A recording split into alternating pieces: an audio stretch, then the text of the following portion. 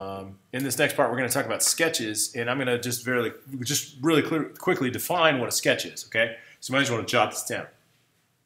So a sketch is a musical phrase, oftentimes developed by a, co a, composer, and then it, it, it is taken. That musical phrase is taken, and that idea is expounded upon uh, a lot of times by an arranger upon different parts. The goal of the sketch, okay, so essentially, essentially the sketch is developed by a composer. It's a musical phrase, and it, ideally, it is just uh, and in, in, in, its inception, it's a thought process that the composer can put down on paper, but it doesn't have to be applied to any specific instrument. And that's kind of the key. So no specific instrument. The arranger will then take the sketch and develop the parts for the rest of the group. So like in a typical composer, uh, like a composer has an, an, a dedicated arranger. A lot of times by default, the composer becomes the arranger if he doesn't, if it's not a real big project or you know if they elect to do the arranging themselves. But but the idea of the sketch is the sketch is just the model of the melodic phrase. So the way that, that a lot of modern composers use sketches is they'll say, here's the, here's the idea I have for this section. And they'll go and they'll make the phrase. Sorry. And they'll go, all right, I'm moving on to the next sketch.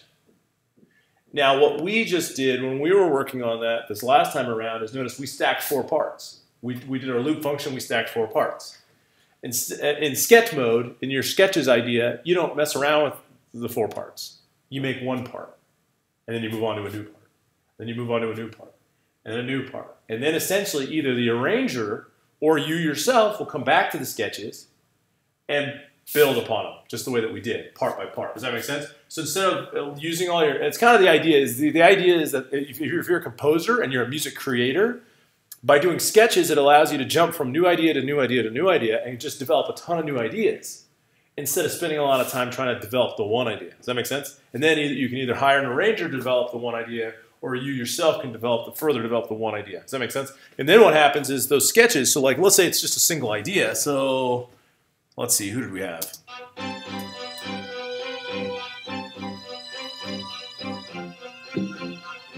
Okay, so this guy.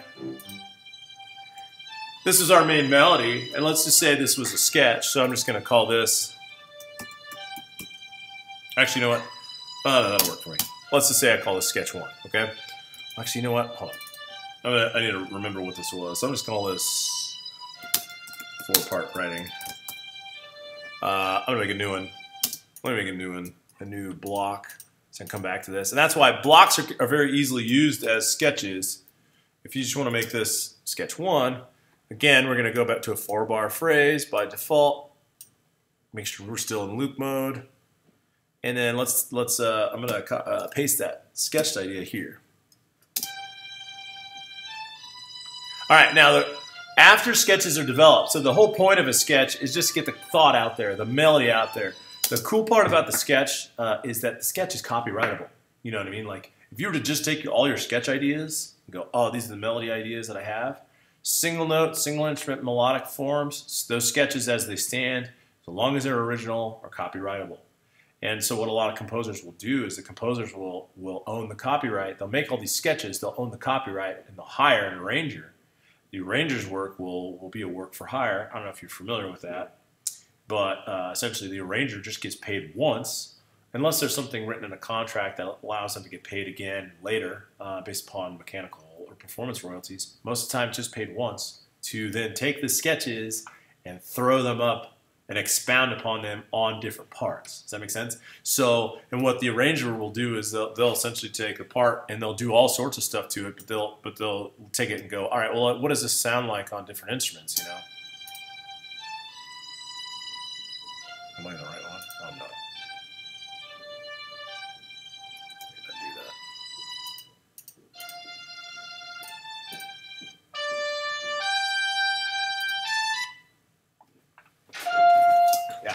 You want me to borrow my keys? Yes, please. I need to get into Tristina's office.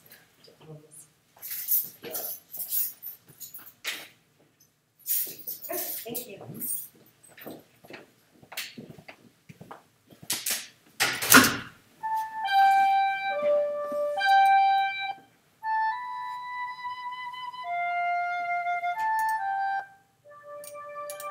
Let's see. Is there a woodwind section? Oh, it is brass winds. That's it? Huh?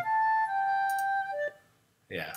I mean, ideally, you could, if we transition this and made this, uh, let's say we jump down here and we, we drop this one for a second and we make a new instrument out of the NNXT.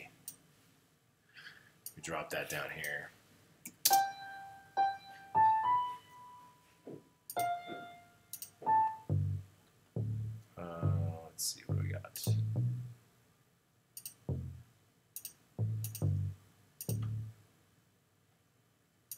It's too high.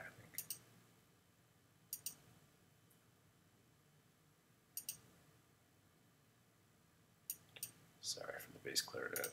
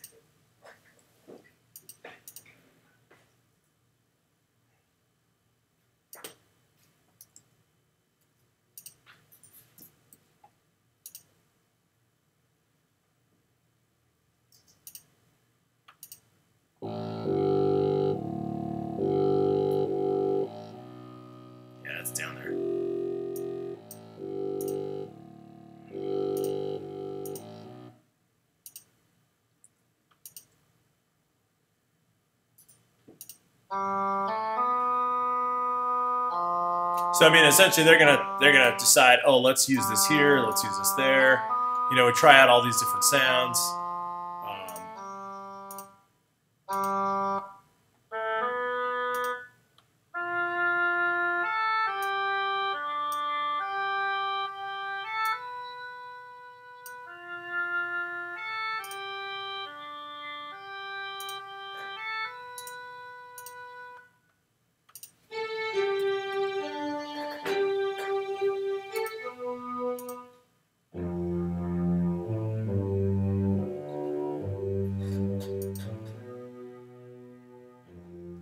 You know, so what gets to happen is, is when you're developing sketches, it's a little different. I mean, you're literally the reason why it's called a sketch is because it can be used phrase by phrase. It doesn't have to be elongated. Um, and once you build a theme, like think about it, like once we build a theme uh, from the composition, like you're gonna make a theme like uh, think about just some basic themes that you know, like from films, it's kind of easier, uh, like Jurassic Park. You think about the Jurassic Park theme. I mean, that's literally it's just it's a one phrase set of call and answer and in that call and answer phrase, uh, it, it moves a little bit, you know, in that phrase, but you're looking at about a 16 bar phrase that then gets used a million times in different ways. And, and, and or like you look at some of the stuff like Star Wars is another great example. There are these just phrase sets developed that are then recurring. And instead of the composer getting lost in all the recurringness, they focus on the development of the idea and they either later work on that or they hire an arranger to work specifically on how and where and you know to getting it exact the right the right sound for the each instrument does that make sense So it's kind of like, like let's say you had a director say for Jurassic Park, looking for the soundtrack, so and a composer just didn't want to waste his time on one idea.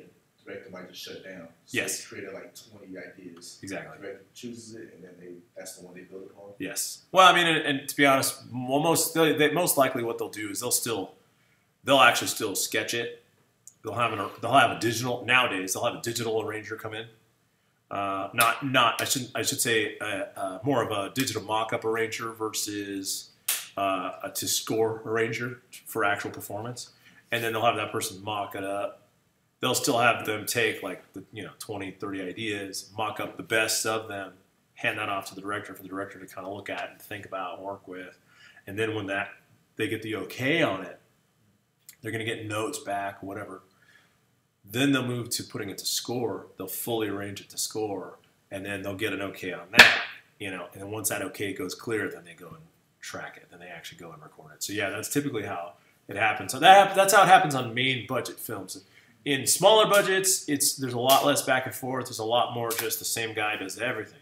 But the model of sketching, and that's the difference between like what these big composers versus your everyday guy that makes compositions is when you don't have a lot of budget, you're doing all these jobs at once and you're making 10 ideas versus 50 ideas because you only have time enough to do the idea and arrange the idea you know to sketch the idea and arrange the idea you know because you're doing both jobs so the idea with sketches essentially is you can whittle out more sketches sketched ideas and then have more more on your palette and go all right i want this one to work with does that make sense now the beauty of it is, is if you were to take now when i do sketching i do them all in the same key if you do all your sketching in the same key you can change the key later, but if you sketch all in the same key, if you have sketches that you like that work together as a melody and a counter melody, you can just slam those sketches together. Does that make sense?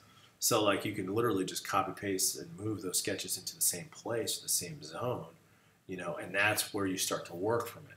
Now the difference between uh, now here's the uh, here's what it really comes down to. What I wanted to talk a little bit about the difference between a standard composition and a score. Okay, a, a standard composition is free flowing, just like writing a song. You write a song. What's the point of, of how you write the song? You're trying to generate hooks, and you need to repeat those hooks in order to land the plane to, to, to get people to go, oh yeah, I know what the hook is. Make sense? But when it comes to scoring, the point of scoring is hit points in most cases a lot of times thematically, like you think about a movie, you go watch a movie, you'll have one or two main themes that actually play in a repetitive motion. And that's the one you would expect to hear at the credits of the, of the movie. But throughout the movie, like all the action spots are typically all based upon hit points. And those hit points are, are where in the film something happens that requires a change or a strike from the music. You know, so think about a suspense film, you know, like a thriller. It there's like a weird wind up build up and then it has to take a huge hit in order for that scary moment to take place. But it's the difference between having hits, right, and these hit points where the music will literally go bah, you know what I mean, and, and they'll outline a chord or maybe they go you know what I mean, versus creating a melody. You see, see the difference there? Where in a standard composition, you're thinking melody, melody, melody, melody, melody when you're when you're talking score, sometimes the sketches are not needed to be melodic. The sketches are just designed as um, something supportive, more chordal or more sustaining, and they might have a drive to that hit. And then there's literally physically a a hit. You know what I mean? Like where the brass or you know whoever does an actual downbeat. Does that make sense? and it's very stark if you were to go listen to it. So, like, if you were to listen to, I don't know how often you listen to it, but if you were to go listen to the soundtrack of a motion film, you'll hear the main themes. You know, one of the main, they usually have one or two main themes, and then, but after that, the rest of it is literally just hits.